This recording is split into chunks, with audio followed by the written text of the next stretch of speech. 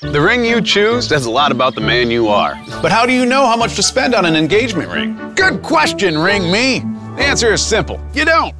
Different men have different budgets. And while you may not want to be this guy, Nothing says I love you more than a prenup. you probably don't want to be that guy either. People who search for me also search for cheap divorce lawyers. So, how can you give her the best ring for no extra cash? Steal it! Or, if you're a good person, try finding a diamond that is slightly below one of the standard carat weights. A small change in size could mean a big difference in price. Or, you can get a lab created diamond that's 30% larger than an earth created diamond and just as beautiful for the same price. It's one of those size actually matters situations. it always matters, to be clear.